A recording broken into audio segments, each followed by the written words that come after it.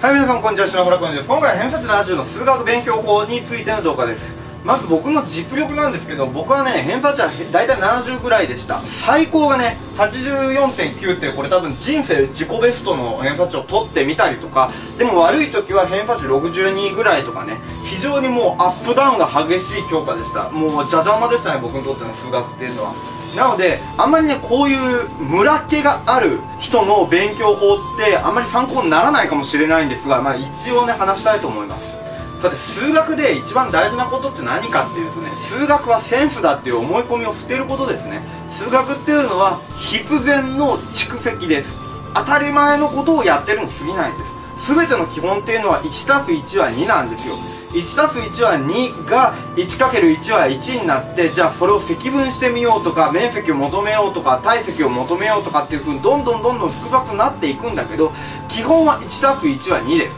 ここに帰ることができれば数学っていうのはあくまで必然っていうものが積み重なってるに過ぎないんだ。非常に論理的な学問なんだということがなんとなく分かってもらえればこれで数学に対する恐怖心っていうのを払拭してもらえれば僕は大丈夫かなと思います。数学に対する恐怖心というのをまずなくすことから始めましょう。で数学の点数の伸び方なんですけどまず一つが公式を覚える。公式を覚えた後っていうのは問題を解きまくります。で問題を解きまくる時期っていうのがずーっと続きます。問題を解くっていう時期がずっと続いてここで頭打ちします。まず間違いなく頭打ちします。で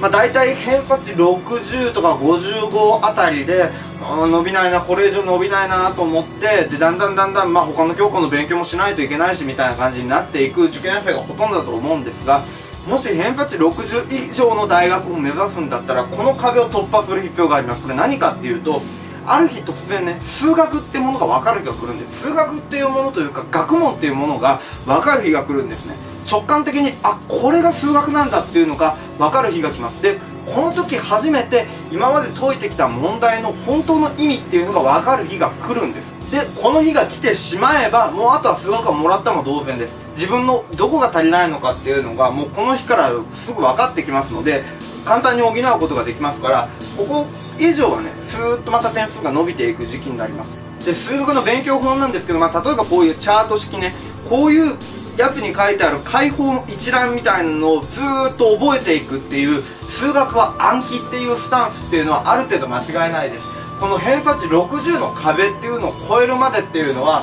もうこのパターンを覚えるっていうことに尽きると思います。公式を覚えてパターンを覚えるっていうことでこの壁の直前まではいきます。でこの偏差値60の壁の前でですねこの演習を通じてうろうろしてたらある日突然壁が壊れてくれてこっからは数学は理解の世界になります。まあ、この壁を越えてしまえばねもうあとは各々好きなように勉強してたら絶対点数伸びていくのでまずとりあえず偏差値60を目指して勉強してみてください。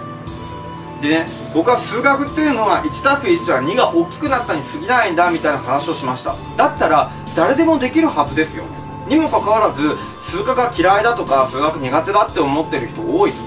なんでかって言われたら僕は教師が悪いんだと思います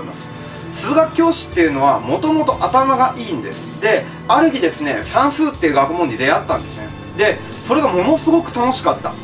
点数は取れるし周りから褒められるしすごく楽しかったんです。で中学に入ってですね数学っていう学問になった。これもむちゃくちゃ楽しかった。でどんどんどんどん勉強していくうちに数学オタクになっちゃって大学も数学科に行こうと思った。みたいな感じになっちゃったんですね。でなった挙句どうなったかっていうとこの面白さをみんなに広めたいと思って数学の教師になっちゃったんですよ。でそういう人ってどういう人かっていうと数学がわからないとか数学つまんねえなっていう人の気持ちが残念ながらわかんないんです。であと理系の人ってね概してジョークのセンスとかトーク力みたいのってないんですよ残念ながら。なので数学嫌いな生徒を数学が好きな世界に引き込むことっていうのが非常に苦手なんですね。まあねこの一連の出来事っていうのを数学の教師のせいにするのはかわいそう数学の先生かわいそうですけどでもまあこれ数学の教師が悪いんだと思います正直言って。でもう一個数学は人生に関係ないよっていうような人がいるんですがこれは大嘘です。大嘘です。数学っていうのは人生に関係あります。まず大学に行くんだったら経済法律心理学何をやるにしても統計が絡んできましたとか数式が絡んできましたみたいなこと絶対出てきます。だから数学ができないまま大学に進学するというのはあまりおすすめしません。あと大学に行かないにしろです。人生に関係ないよって言うかもしれませんけど人生ってもっと難しい問題山積みなんですね。好きな人にプロポーズしたい。でもその好きな人っていうのが自分を振り向いてくれないかもしれない。でもどうしてもこの人と結婚したいんだって思った時にどうやってその人の心を引きつけるのかとかっていう問題だとか人生にとってもっと大きい問題って必ず出てくるんです。でその必ず出てくる時にどうやって対応するのかっていうのはもっと簡単な問題をどうやって対応するのかに慣れてないとどうにもならないと思うんです。だから受験数学ぐらいは突破しましょうよ。その大きい問題ね。将来多分出てくるであろうでかいでかい問題に対してその練習として受験数学っていうこのプロポーズをうまく成功させるかどうかみたいな難しい問題に比べれば簡単なところで練習しておきましょう。はい。今回麦とこちらチャート式で、えー、お送りしました。今回の動画はこれで以上です。ご視聴ありがとうございました。